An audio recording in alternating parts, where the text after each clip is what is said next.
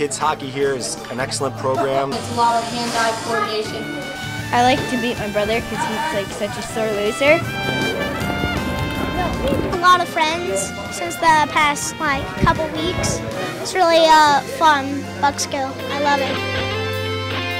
just a- an amazing program. So we're very happy, and the, the kids all love each other. They get along very well, and it teaches them a, a wonderful sport and builds their confidence as well as gives them a little exercise. So thank you, Buckskill. We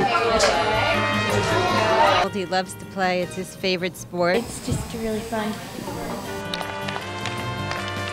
Having a great time out on the ice. They're learning a lot of good skills.